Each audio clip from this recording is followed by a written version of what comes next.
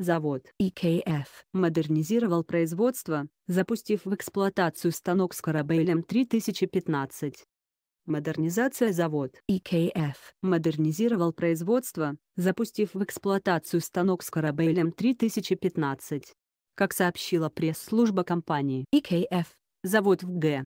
Александрове Владимирской области. Ранее на сайте «Сделано у нас» сообщалось о запуске производства, выпускающей низковольтную электронику, модульную автоматику, силовое и коммутационное оборудование, корпуса электрощитов, изделия для электромонтажа и электроустановки, средства измерения и кабелей несущих систем, модернизировал производство, запустив в эксплуатацию станок лазерной риски с корабелем 3015 с автоматическими сменными палетами. Производство московской компании «Спецтехноснаб», которая разработала и запустила в производство более 60 различных установок.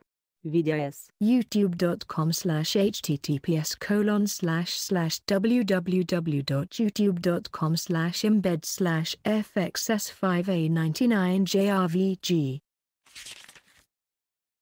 Станок мощностью 3 кВт, оснащенный лазерной установкой компании, IPG предназначен для резки листового металла толщиной от 0,5 до 16 мм.